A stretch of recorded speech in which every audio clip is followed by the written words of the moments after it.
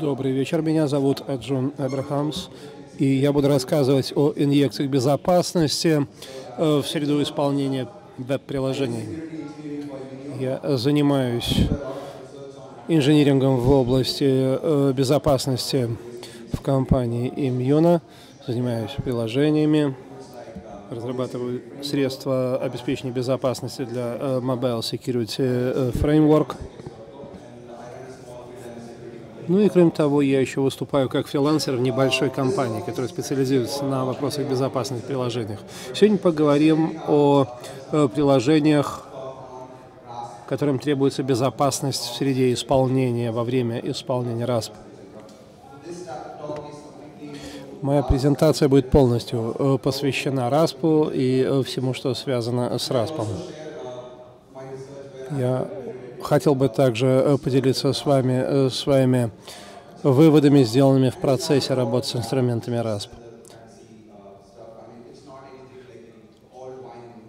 Э, собственно, я не буду говорить о том, что уже не актуально сегодня. Давайте начинать. Это вот некоторые из проблем безопасности, с которыми мы сегодня сталкиваемся. Написание э, кода для обеспечения безопасности – это непростая э, задача. Я знаю это по своему опыту. Даже когда вам помогают, даже когда у вас есть соответствующие рекомендации. Большая часть организаций использует стратегию типа Agile. Это значит, что э, ваши новые сборки, релизы появляются завидной регулярностью. Но есть вероятность, что вы все время будете заменять то, что уже существует, тем, что уже существует. Есть другие проблемы, такие как hijacking сессий и другие. Речь идет не только о самих уязвимостях. Есть другие проблемы, касающиеся безопасности приложения, особенно веб-приложений. Если говорить о, о среде веба, фреймворки веба. Люди не пишут веб-приложения с нуля, используются различные фреймворки, существующие э, в Python, э, в Django, э, в Java. Таких фреймворков достаточно много, и у всех у них уже есть какие-то встроенные средства безопасности, такие как встроенные э, CSR-токены, шаблоны, э, API-интерфейсы, escape. Э, которые позволяют избегать применения вредоносных криптов. Все то, что позволяет вам писать приложения, включая приложения для баз данных в достаточно защищенном режиме. Что нам нужно понимать здесь? Э, Все это доступно в виде существующих API-интерфейсов. Вы можете их использовать для того, чтобы делать вашу среду более защищенной. Но когда Э, разработчики, инженеры пишут э, защищенный код, все равно возникают определенные проблемы. Ничто не совершенно. Если говорить о э, различных фреймворках безопасности, очень часто возникают проблемы неправильного конфигурирования токена. Вот эти неправильно сконфигурированные токены выталкиваются в промышленную среду. Если говорить о избежании шаблонов, есть такие вещи, как HTML, Escape, достаточно сложные вещи. Это то, что отличает нас от э, самых разных существующих вещей. Мы избегаем контекста HTML, но все равно существует э, вероятность того, что возникнут э, уязвимости, которых, э, которые можно эксплуатировать. Я хочу вам показать один пример. Итак, это HTML escape, функция HTML escape. Что мы тут видим? Тут у нас имеется соответствующий фреймворк, и мы видим, у нас тут присутствует два пользователя. Пользователь 1 и пользователь 2. Мы входим escape HTML функцию. Ну вот видите, здесь у нас все в порядке. А во втором случае HTML escaping не работает как надо. Это очень простой пример, который показывает, что функции, которые обеспечиваются фреймворками Web Security, недостаточны. Можно запросить э, Rails э, SQLI. Э, мы можем получать все это в коде Acura и в других вещах более высокого порядка. Есть другие вещи. такие как session hijacking, file uploading и так далее. Все это не закрывается вашим фреймворком. Давайте продолжать. Вам требуется фреймворк безопасности или инструментарий безопасности, который э, будет перекрывать эти уязвимости. Большинство э, людей считает, что достаточно использовать WAF. Ну, давайте попробуем воспользоваться WAF. Из истории WAF мы знаем. WAF существует с 99 -го года прошлого века, 19 лет уже почти. Я все время говорю аудитории, кто из вас использует в вашей компании э, WAF? Поднимите руки, пожалуйста. А кто из вас... Существует э, два режима WAF. Э, кто из вас в режиме Differential Mode использует WAF? Никто? Вы купили WAF, заплатили столько денег и используете все это только в режиме мониторинга? Большинство организаций имеют WAF, но большинство из них боятся использовать его в режиме Differential Mode. Используют его только в режиме мониторинга. WAF — это нечто большее, э, нежели средство обнаружения атак. Вы обнаруживаете э, уязвимость в вашем приложении, выявляете атаку, но этого недостаточно. Вы можете э, реагировать на большое количество ложноположительных результатов. Черный список — это неправильный подход. Большинство фаерволов веб-приложений используют WAF. Нам об этом известно. Но это неправильно. И э, завтра или послезавтра это все обойдут. Соответственно, требуется что-то новое. У вас появляется уязвимость. Такие уязвимости могут появляться на самых разных участках вашей инфраструктуры. И все это может э, работать таким образом, что WAF вас не спасет. WAF диктует вам определенные правила, вы их внедряете, применяете, их обходят. Какие-то новые правила применяются, их тоже обходят. Это очень важно понимать. ВАП — это продукт, э, предназначенный э, для защиты, но он служит только делу выявления атаки, но он не э, позволяет эту атаку предотвратить. Он не принимает решение о том, разрешить пропускание того или иного трафика или нет. Вы никогда не видите, что это на самом деле. Какой-то вредонос проникает в ядро вашего приложения, и э, дальше начинают исполняться функции, э, которые вам совершенно не нужны. Подведем итог. Достоинством WAF является его черный список. WAF выявляет атаки, но не указывает на уязвимости. Отсутствует прикладной контекст. WAF срабатывает э, по требованию, ориентируясь на запрашиваемые объекты. Запрос поступает из интернета, попадает на WAF и затем передается приложение. Говоря о WAF, прежде чем переходить к RASP, необходимо обсудить WAF более подробно. Его разработчики постарались сделать даунгрейдинг. Возьмем безопасность PFS. На самом деле это неуязвимость.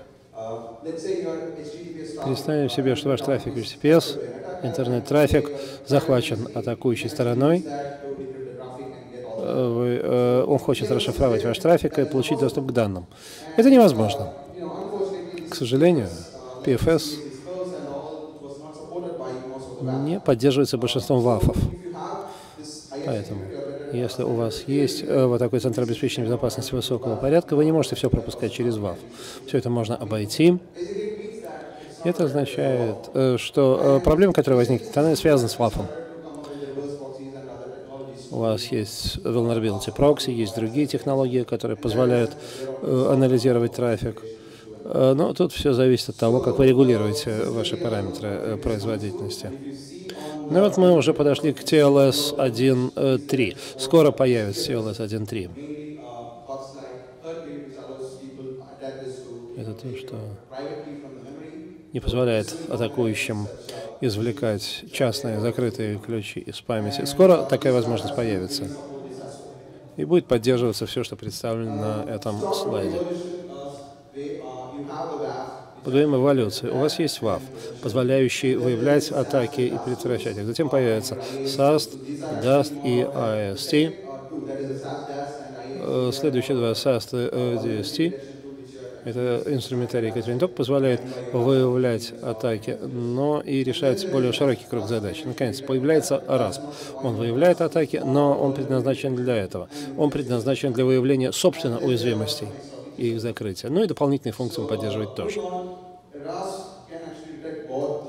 RASP позволяет выявлять и атаки, и уязвимости. Но выявление атак – это не главное назначение этого инструмента. Представим себе, что у вас есть уязвимое приложение. Вы активируете RASP, который э, предлагает вам в значительной степени изменить код. Э, вступают в действие определенные требования к аппаратным средствам. Все это работает внутри приложения. В конечном счете все крутится вокруг вашего приложения. Ну, таким образом производится инъекция э, защитной функции, функции безопасности, security injection. Многие говорят, что это черный список. На самом деле это не просто черный список. Черный список – это неправильный э, способ обеспечения безопасности. Э, где же э, в идеале следовало бы обеспечить безопасность? Мне представляется, что это внутри приложения, а не вокруг него и не до него. Безопасность, механизм безопасности должны работать внутри своего приложения, должны понимать, как потоки проходят через приложение и как это приложение функционирует. Существуют разные э, типы РАСПа. Нет единого определения. Я изучил разные определения РАСПа, прочитал самые разные документы, все они доступны в интернете. Первый тип – это э, сравнение закономерности с черным списком. Запрашивается э, ВАВ. Существует также динамический подход – но здесь вам приходится иметь дело с очень крупными приложениями. Наконец, визуализация и э, разделение. Э, здесь все зависит от платформы. Э, у вас есть Java, у вас есть JVM, но не на всех платформах это поддерживается. Наконец, инструментация кода и э, динамический whitelisting, составление белых списков в динамическом режиме. Это хороший подход. У него тоже есть свои недостатки. давайте двигаться дальше. Э, итак, RASP, реализация RASP э, посредством инструментации через API-интерфейс и динамический waitlisting. Я, кстати, вам предложу э, с несколькими демонстрациями познакомиться. Вы увидите, как все это выглядит на практике. Вы увидите, как модуль RAS позволяет предотвращать угрозы. Ну, есть и э, другие проблемы, с которыми раз позволяет справляться. Кроме того, я вам расскажу о своем собственном исследовании, исследовании, которое я э, пока еще веду. Существует три вещи, которые нужно понимать, прежде чем будем продолжать. Три техника. Первое – это monkey patching. Это пэтчинг в режиме э, обезьяны. Это инструментация э, с помощью API-интерфейсов. Далее лексический анализ, достаточно полезный подход. Ну и, наконец, э, контекстное определение, детерминирование. Это относится не только к RASP. Но это те алгоритмы, которыми я активно пользуюсь. Э, если вы э, не очень хорошо знакомы с функцией runtime hooking или э, патчирование э, функций, я э, проиллюстрирую все это с помощью демонстрации. Вот мы видим здесь символ HTML, это э, скрипт Java. Hello, we love you. Жмем сюда. И вот что мы видим. We don't love you anymore. Э, мы вас больше не любим. Больше не люблю. Меняется функция, то, что функция должна э, делать э, во время исполнения, в среде исполнения. Нам требуется вот эта концепция. Это одна из главных э, концепций в РАСПе. Двигаемся дальше. Давайте перейдем к лексическому анализу и генерированию токенов. Это то, э, о чем должны хорошо знать люди, которые занимаются компьютерной техникой. Вот, видим э, заявление лексического анализа, токен. У нас есть ключевое э, слово, открывающая э, скобка, идентификатор, оператор и э, три точка – это число. Как это работает? Мы игнорируем все пустые э, пространства, обнаруживаются э, символы, э, которые невозможно распознать.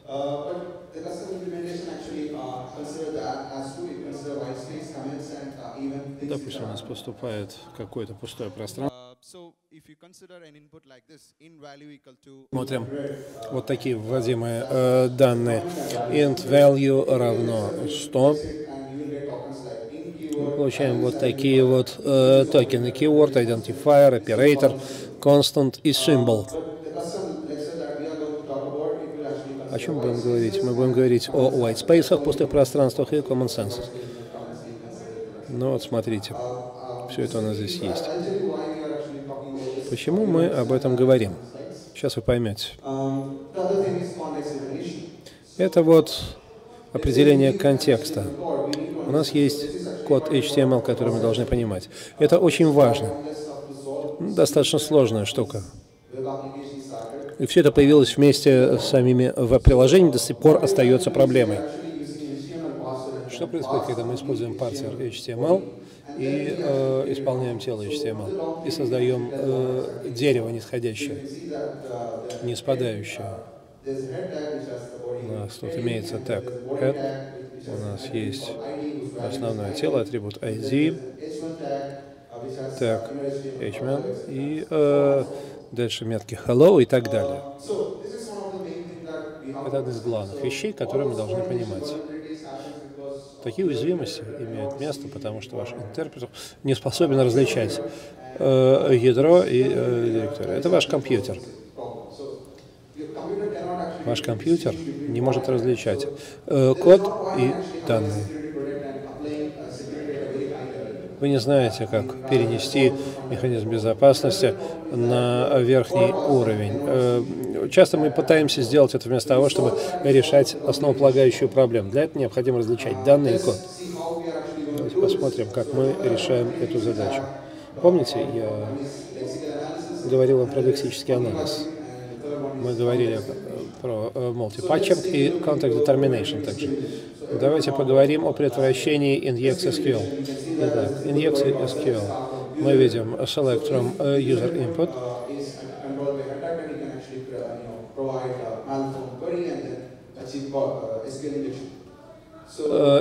Мы знаем, как это достигать. Что мы будем делать?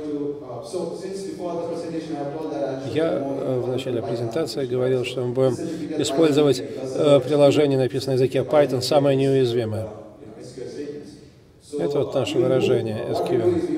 Что мы здесь делаем? Мы используем monkey patching. Это вот наш аргумент. Мы передаем аргумент для лексического анализа, и выглядит это все примерно вот так. Select from uh, logs, ну и так далее. Uh, select keyword. Все, что uh, на этом слайде вы видите. Итак, мы сгенерировали вот такой токен атакующий пытается осуществить инъекцию такой полезной нагрузки, структура полностью меняется. Это лишь пример. Что мы делаем? Мы пытаемся изучить приложение. Во время этапа изучения мы генерируем токен для данного контекста. Это то, что вводит пользователь. У нас есть ключевое слово. Э, white space operator. У нас есть э, select logs, select history, логи и э, история, history — это то, где у нас должны, собственно, быть данные. А дальше у нас структура полностью меняется и все блокируется. Ну, давайте перейдем к демонстрации.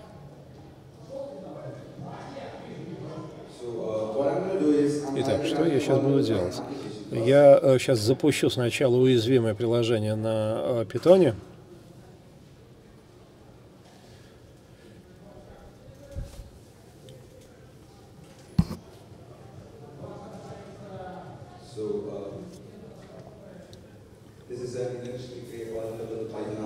Итак, это наше уязвимое приложение. Классическая инъекция SQL.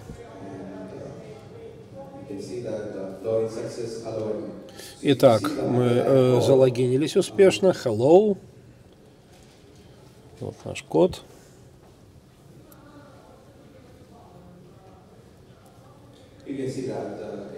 Как вы видите, это классическая инъекция SQL. Сейчас я запущу такое же приложение, только с модулем RASP. Единственное изменение – это то, что уязвимый код по-прежнему здесь присутствует. Единственное изменение состоит в том, что у нас имеется здесь модуль он. Давайте сейчас я кое-что сделаю. Давайте запустим это все. Ну вот теперь наше приложение работает. Это рабочее производственное приложение. Э, первый раз, когда вы указываете валидные значения, на этапе обучения ваше приложение изучает контекст, осваивает его. Давайте здесь укажем админ, пароль. Нажмем логин. Регистрация прошла успешно, здорово. Теперь зайдем в базу данных. Все, покажу э, правило, созданное под наш контекст. Видите, да? Для этого контекста правило выглядит так. Э, Kerut white space, operator white space, ну и так далее. Дальше можете все сами прочитать. Это правило, созданное под наш контекст. Теперь, если атакующий пытается осуществить инъекцию э, кода э, в том месте, э, где э, должны быть введены данные, происходит блокировка. Это происходит потому, что изменилась структура. Смотрите, эта структура достаточно велика. Кроме того, в приложении присутствует модуль RASP, Пойдемте дальше.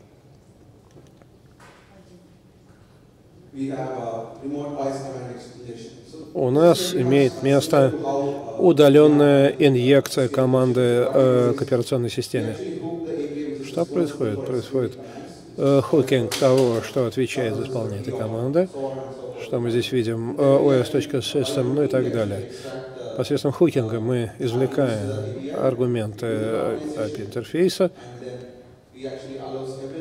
и, э, по сути, мы разрешаем все. Токен должен быть заблокирован, поскольку структура изменилась. В следующий раз, если кто-то э, попытается указать валидное значение, мы видим, что домен IPO, он у нас достаточно гибкий, это может быть IP или э, что-то еще, но все зависит от того, как вы на самом деле все это написали. И успех в данном случае зависит от этого. Когда кто-то пытается осуществить инъекцию вредоносной команды, структура меняется и происходит блокировка. Ну и еще одна короткая демонстрация.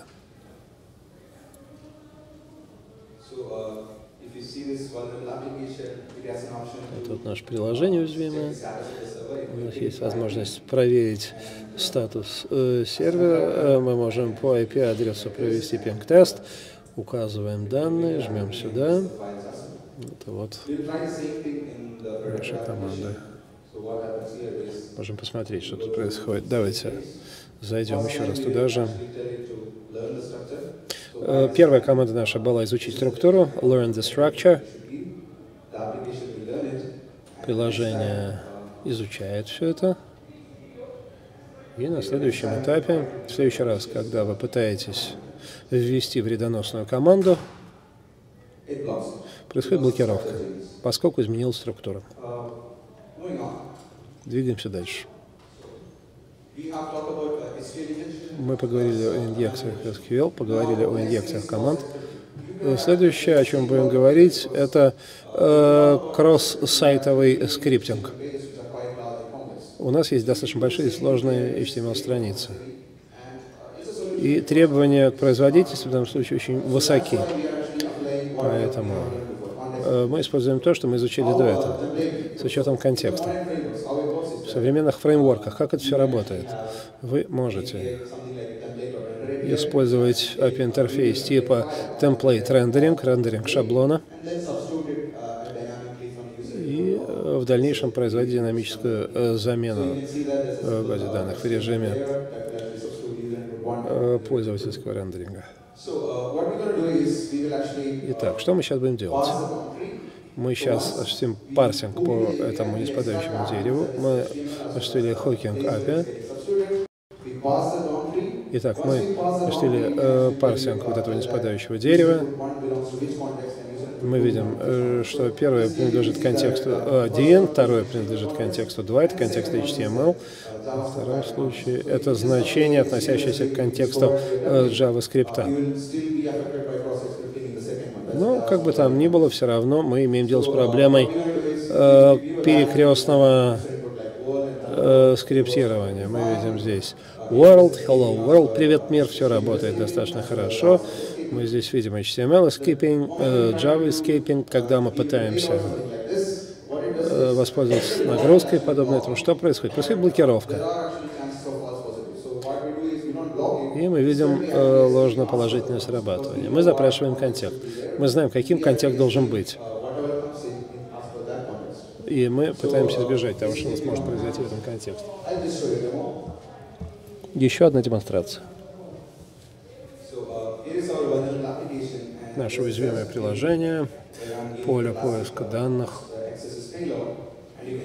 Воспользуемся классической полезной нагрузкой. Все это должно появиться здесь. Вернемся к исходному коду.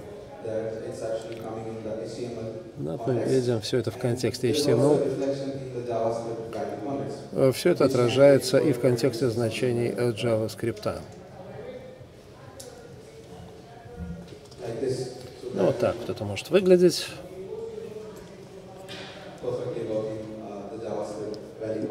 JavaScript и контекст значений JavaScript работают отлично. Сейчас мы то же самое пытаемся проделать в нашем приложении. Давайте попробуем ввести обычные стандартные данные, произведем парсинг контекста. Здесь мы зайдем в правила, мы увидим с вами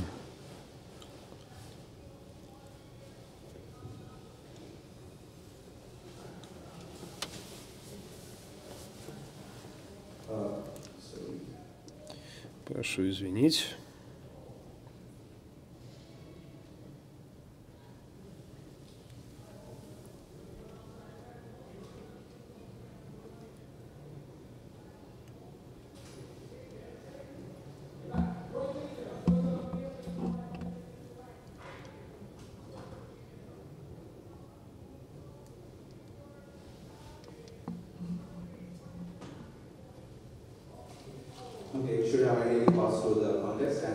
Итак, мы переходим в контекст. Вот теперь я передаю полезную нагрузку. И мы видим, что здесь все не так хорошо защищено, как в коде у нас. Если мы перейдем к исходному коду, мы видим, что мы видим здесь HTML escaping, а здесь мы видим то же самое для значения JavaScript. Это вот э, такие самые распространенные Э, проблемы безопасности приложения. Стоит поговорить о предотвращении DOM XSS. Люди используют э, самые разные фреймворки. Мы можем прописать HTML непосредственно в нашем доме. Что мы делаем? Так же, как мы это делали э, в других случаях, мы будем использовать среду исполнения для того, чтобы осуществить хокинг на этих API-интерфейсах. У нас имеется достаточно э, хороший инструмент, пригодный и для HTML, и для скрипта Java.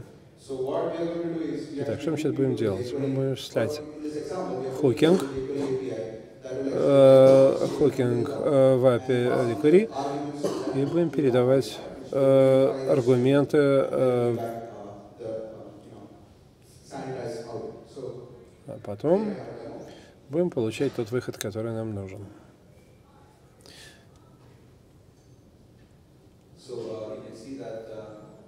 Итак, мы видим здесь импорт decory. Все то же самое, что у нас уже было. Что я сейчас делаю? Я пытаюсь осуществить инъекцию HTML. Div. Это э, аварийный сигнал 1 в скрипте, скрипт alert 1, скрипт alert 2. Вот наш HTML. Мы видим, что э, весь э, контент JavaScript у нас, э, собственно, э, извлечен отсюда. Э, отсутствует owner атрибута. И мы видим, что вредоносный э, контент у нас удален из скрипта. Возвращаемся к презентации. Другие э, проблемы обеспечения безопасности приложений. Достаточно распространенные вещи, я о них уже говорил. Мы здесь говорим о предотвращении э, тамперинга э, с помощью глаголов, предотвращения инъекции в заголовке и так далее. Нужно вслепую блокировать запроса трейсера. Не все, но некоторые из них. Вот так выглядит эта опция. Но на самом деле мы можем в индивидуальном режиме решать гораздо более широкий круг задач. У нас есть API, который отвечает за э, работу с запросами HTTP. Мы можем воспользоваться конкретными корнями. У нас есть э, соответствующие корни. И пойдем по этому конкретному маршруту. После того, как прошел этап обучения, если вы видите что-то, что э, не относится к вашему списку, вы это блокируете. Давайте вернемся к демонстрации.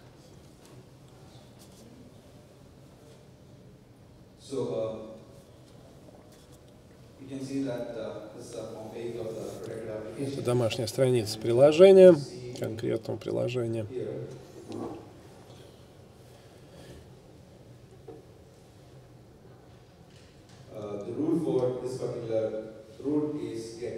Мы видим правила для этого корня.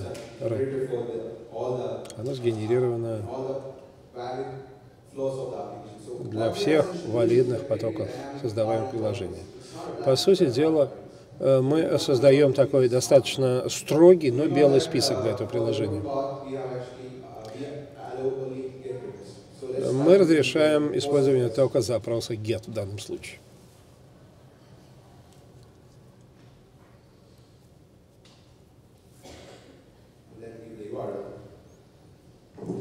Указываем URL-ку. Ну вот, мы видим здесь блок RASP. Достаточно полезная технология для предотвращения неприятностей. Пойдемте дальше. Предотвращение инъекций заголовки. Это достаточно такая распространенная уязвимость. Даже в некоторых фреймворках она не преодолена. Что происходит? Мы пытаемся э, разделить, расщепить заголовок.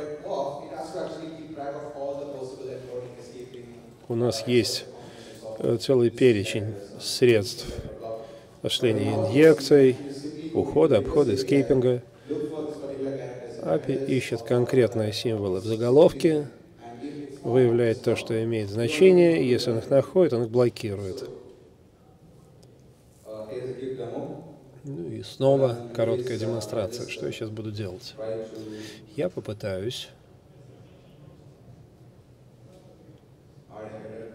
Итак, заголовок.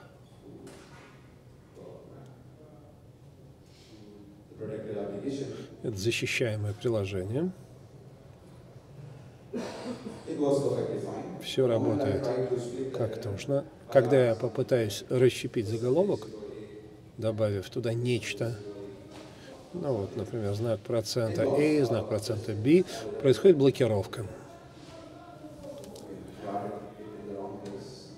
Я не туда все это вставил. Давайте-ка я исправлю ошибку. Ну вот как-то так. Ну, вот я пытаюсь встретить инъекцию в заголовок. Это только один пример. Вернемся к презентации. Итак, классическая защита э, от файл-аплодов. В интернете есть примеры э, того, как это может выглядеть. Разработчики копируют обращение к э, приложениям. Сегодня большая часть приложений э, испытывает проблемы с файл-аплоудом. И благодаря этому злоумышленники имеют возможность выгружать крупные файлы. Можем использовать API файл IO. Итак, мы видим настройки здесь open. У нас есть путь доступа к файлу. отсюда получить информацию, что этот контекст дает нам возможность записывать файлы. Мы создаем белый список, и в следующий раз, когда кто-то пытается выгрузить файл, который не относится к нашему белому списку, мы его блокируем. Давайте снова э, перейдем к демонстрации.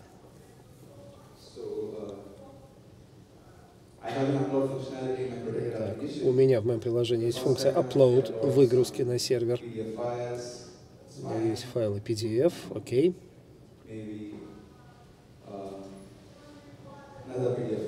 Еще один файл PDF. Он тоже выгружен. Теперь зайдем в правила. Файл IL write. Видим данные. И здесь мы видим, что для данного контекста мы э, должны, можем загружать только видеофайлы, все остальное неприемлемо, запрещено. Ну, пытаемся выгрузить э, файл э, DS в JavaScript. Он блокируется, все ясно и понятно.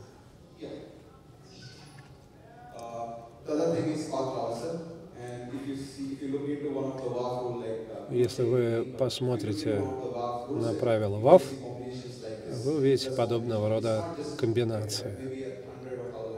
Это могут быть сотни, тысячи э, комбинаций, подобных этой. Это вот э, классический э, пример обнаружения атак на пути доступа к файлам. Все это может делаться на уровне самого приложения. Что мы делаем? Мы осуществляем хокинг API. Это тот же самый API, но в другом режиме мы э, осуществляем э, Hawk IO Open. Вам разрешено осуществлять считывание. Что у нас тут касается типа файла? Файл разрешен только для чтения. Давайте снова вернемся к демонстрации. Это уязвимое приложение. И у нас есть возможность читать файл. Ну и вот что мы увидим. Если мы попытаемся обратиться к защищенному файлу, давайте попробуем. Во время фастайма мы пытались понять, что это должны быть за файлы, с каким расширением и э, пути, по которым доступ к ним можно осуществлять для чтения. Э, но смотрите, мы можем пытаться осуществить обход, escape, чтобы получить доступ непосредственно из директории, из каталога. Ну и вот еще примеры того, что позволяет делать данная технология. Есть и другие опции. Но я вам говорил уже о том, что это работа э, в э, прогрессе, в развитии. Есть такая функция, как session hijacking или попытка проключения к сессии. Что мы пытаемся здесь сделать? Пытаемся э, сделать что-то для того, чтобы защититься от этого. Сегодня я об этом еще говорить не могу. Возможно, я смогу вам доложить об этом на э, следующей э, конференции. Но речь идет о предотвращении атак типа session hijacking, э, о предотвращении атак типа DDoS седьмого уровня и э, стаффинга кредов. Э, зачем? Э, люди очень часто повторно используют одни и те же э, пароли. И очень часто э, получается так, что в компаниях доступ к кредам забриджирован. И э, в результате возникает проблема. Эти проблемы обусловлены э, не только наличием уязвимостей. Очень часто они э, связаны с тем, что отсутствуют соответствующие процедуры в компании. В данном случае используются инструменты точного обнаружения уязвимостей. И здесь используются динамические э, белые списки, white-листы. Мы знаем, что приложение имеет право делать и что оно не имеет права делать. Кроме того, работает функция обучения. Каждый раз, когда возникает уязвимость, срабатывает функция SASDAS. Я не хочу сказать, что э, э, это идеальное решение, но во всяком случае это лучше, чем все то, что было раньше. Мы не трогаем ваше собственное приложение, а у вас есть возможность использовать все это самостоятельно. Это упреждающий подход к обеспечению безопасности. Конечном счете, если мы осуществляем хокинг конкретного API, мы э, можем обеспечить вашу защиту с нулевого дня. Часто бывает, что люди устанавливают определенный модуль, в случае с питоном это выглядит так. В случае с Java это может выглядеть по-другому. Мы импортируем конкретную э, библиотеку. Те, кто не имеет возможности запускать что-то в производственной среде, э, могут запускать это в среде differenting. Если вы пытаетесь оценить, что представляет собой эта технология, вам необходимо обратить внимание вот на эти характеристики идеального э, распа и посмотреть, насколько все это хорошо соотносится э, с вашей средой, с вашими задачами. Не следует при этом вводить какие-то искусственные уязвимости. Э, у идеального распа э, должно э, быть минимальное воздействие на характеристики производительности. Не следует злоупотреблять потреблением пользовательских P2, PII. Ну и следует избегать того, чтобы ваша система училась плохому, если угодно. Это должна быть настоящая система RASP, то есть все должно работать на основе механизмов отличных от механизмов блэклистинга черных списков. Ну, собственно говоря, я рассказал вам все, что хотел рассказать. Если у вас есть какие-то вопросы, сейчас самое время их задать.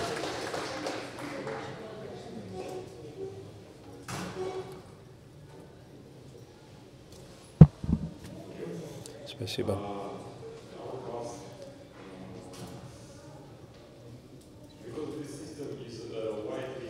Поскольку эта система основана на белых списках,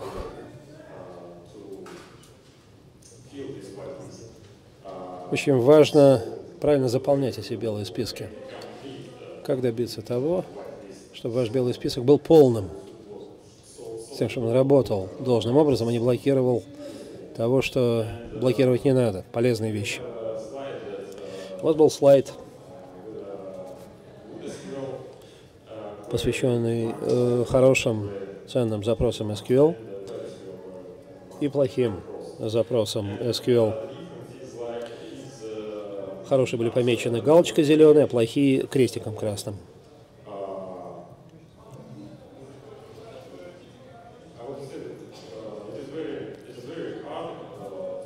Что я хочу сказать? Очень трудно э, различить, что хорошо, что плохо.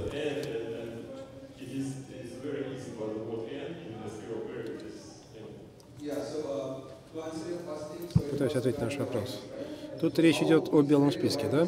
Как мы создаем белый список? Мы создаем в режиме обучения приложения.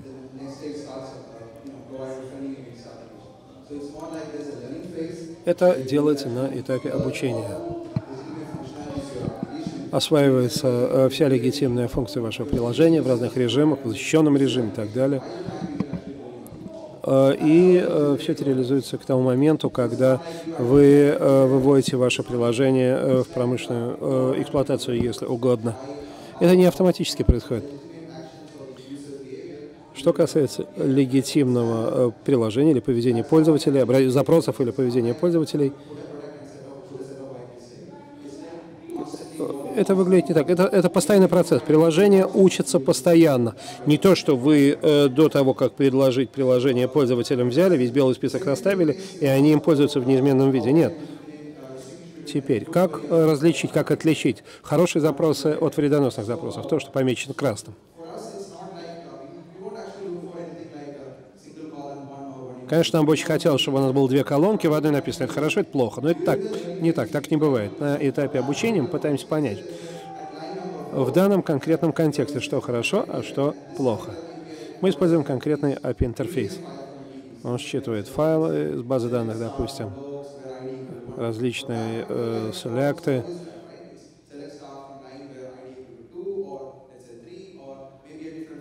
и мы определяем, что откуда выбирается, при этом поэтапно меняется структура. Это происходит постепенно. Потом появляется какое-то ключевое слово. Вспомните, как это все происходит в реальном мире. Все это зависит от пользователей в конечном счете. Пользователи влияют на этот процесс.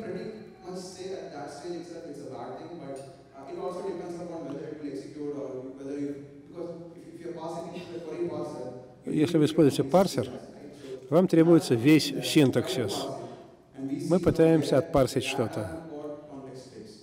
И э, данные, которые мы парсим, анализируются нами применительно к какому-то контексту. Мы пытаемся определить, что хорошо, что плохо, отталкиваясь от того контекста, в котором мы это делаем. Надеюсь, что я ответил на ваш вопрос. Но если хотите, мы можем еще отдельно обсудить эту тему.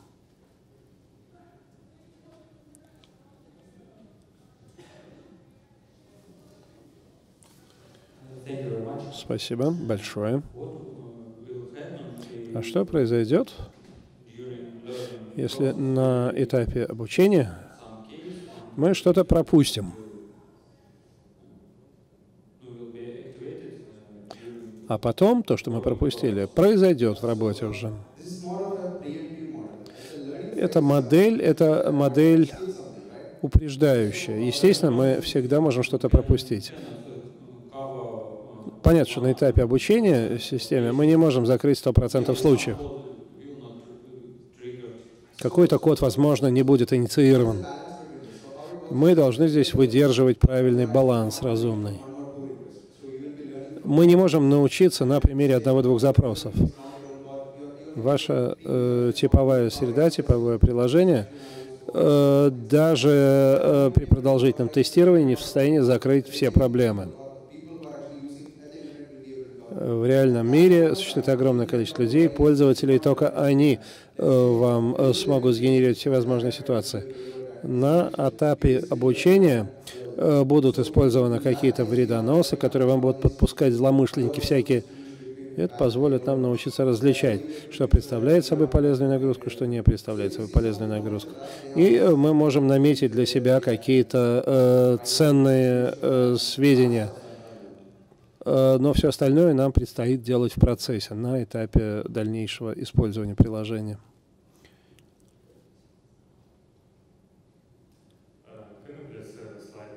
Можем мы э, вернуться к инъекциям SQL, поскольку мой вопрос касается этой темы.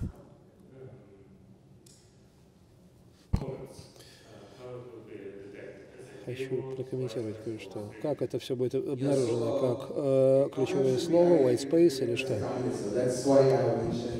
Э, очень правильно подметили, именно поэтому я на этой теме останавливался. Смотрите.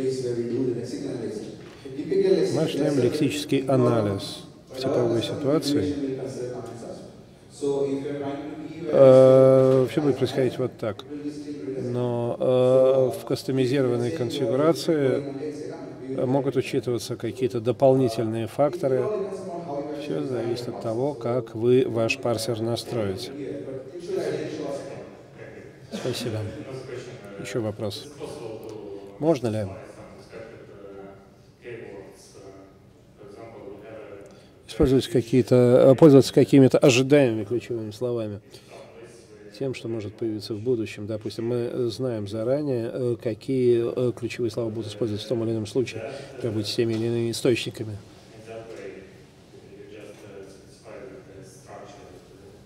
И можно ли под них адаптировать структуру должным образом? White space, ключевое слово, white space, пробел, ключевое слово, string –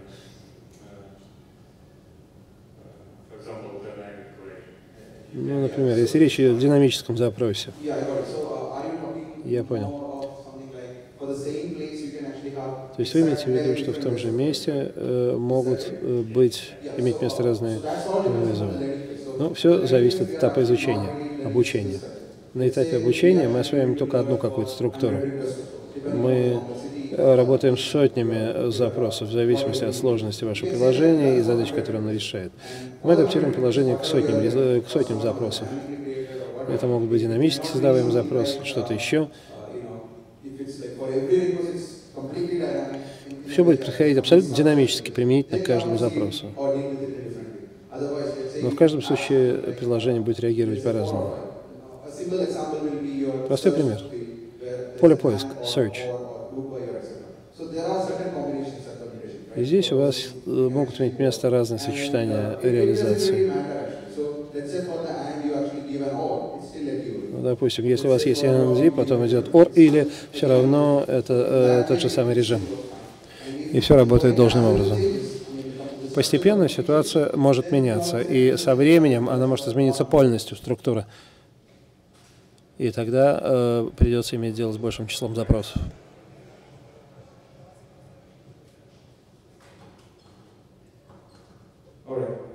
Ну что ж, хорошо, спасибо за внимание.